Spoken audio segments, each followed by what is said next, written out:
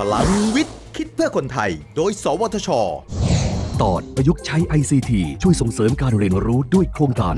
การเรียนรู้สมัยใหม่ไม่ได้สอนให้ผู้เรียนจดจำเนื้อหาเพียงอย่างเดียว แต่ยังมุ่งเน้นให้ผู้เรียนมีทักษะอื่น ๆ ที่จำเป็นอีกด้วยครับ ยิ่งในยุคไอทีแบบนี้ ครูผู้สอนก็ต้องรู้เท่าทันเทคโนโลยี โดยเฉพาะด้าน ICT ซึ่งถ้ารู้จักนำมาประยุกต์ใช้ในการเรียนการสอนได้อย่างเหมาะสม ก็จะยิ่งช่วยเพิ่มประสิทธิภาพการเรียนรู้ให้กับผู้เรียนได้เป็นอย่างดีครับ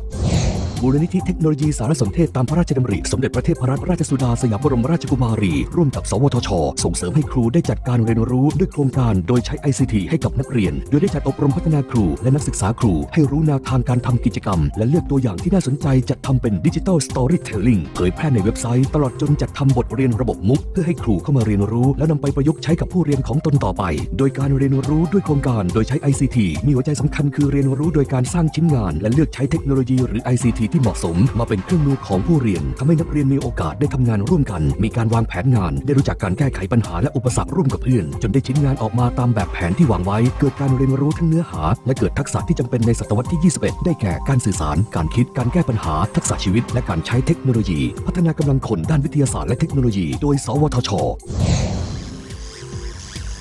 พัฒนาคนด้วยวิทยาศาสตร์ พัฒนาชาติด้วยเทคโนโลยี สอบถามรายละเอียดเพิ่มเติมได้ที่ 02 564 8000